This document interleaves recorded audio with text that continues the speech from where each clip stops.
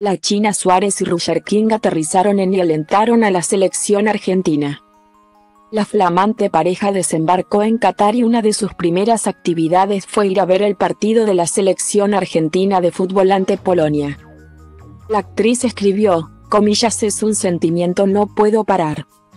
Al mismo tiempo Roger King compartió imágenes alentando tras la gran victoria. Ambos se mostraron súper felices. Mi buzo está todo manchado de Coca-Cola por los arrebatos de la China, contó el cantante. Este es el primer partido de fútbol que viven juntos. Para suerte de ellos la selección argentina les regaló un magnífico triunfo ante Polonia y permitió que el equipo avance hacia octavos de finales. Estas últimas semanas la pasión por el Mundial y el aliento hacia la selección argentina de fútbol se vio reflejada en muchísimas disciplinas.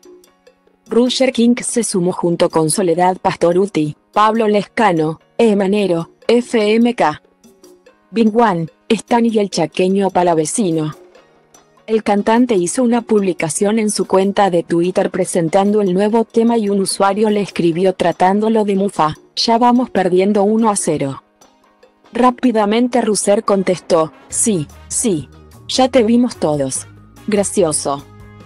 La AFA decidió lanzar un tema dedicado a nuestra selección, llamado Vayas a donde vayas. La canción en la que participaron distintos artistas para crear un hit que motive a la selección.